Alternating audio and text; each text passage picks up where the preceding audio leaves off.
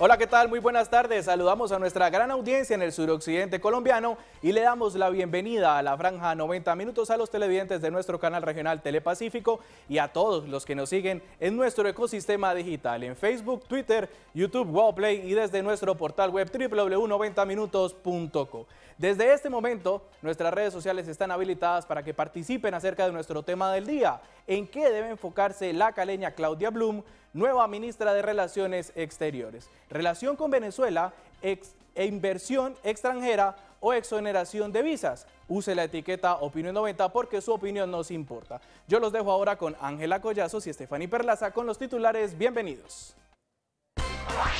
Mucha atención que cayó la banda de los tarjeteros. 18 de sus miembros fueron capturados por las autoridades. El líder era el empleado de una entidad bancaria.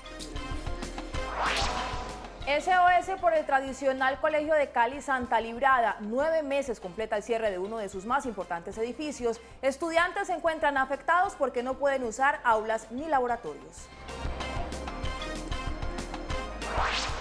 Un nuevo millonario amaneció en la ciudad. El acumulado del baloto cayó en Cali, pero ¿ha pensado usted qué haría con 65 mil millones de pesos? Y en deportes, el Cali detuvo en Palmaseca la racha del Expreso Rojo y esta noche América tendrá la misión de alcanzar el triunfo ante Alianza Petrolera.